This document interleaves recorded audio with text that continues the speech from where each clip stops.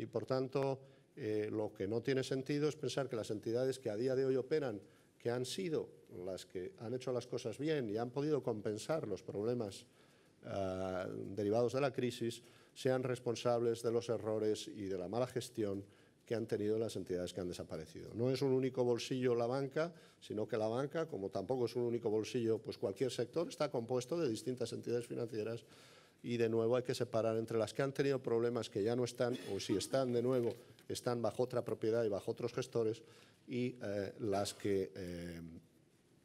han sobrevivido a la crisis y al revés les ha costado lógicamente eh, mucho dinero. Creo que eso es algo muy claro, mm, muy cierto, pero no se lo recordamos suficientemente a la sociedad. Y a medio largo plazo, pues creo que también hay que hacer un esfuerzo de poner en una agenda de consenso social y político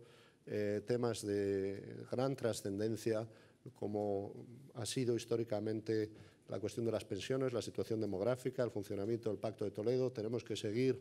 eh, asegurándonos que se toman, eh, se hacen las discusiones fuera de la vorágine de campañas electorales sobre temas tan importantes como este. Pensamos que hace falta diálogo con el respeto lógico al marco legal y que eso debe llevar en su momento, por muy difícil que parezca, eh, a un gran acuerdo que sea positivo para Cataluña y para el conjunto de España. Eh, eso es eh, sin duda una tarea en la que todos estaríamos muy contentos de llegar, que efectivamente se pueda llegar a esa solución y aunque sea difícil, seguimos confiando en la capacidad de las personas que tienen que hacerlo, que puedan llegar a ese diálogo y a esos acuerdos, como digo siempre, en el marco del respeto a la ley.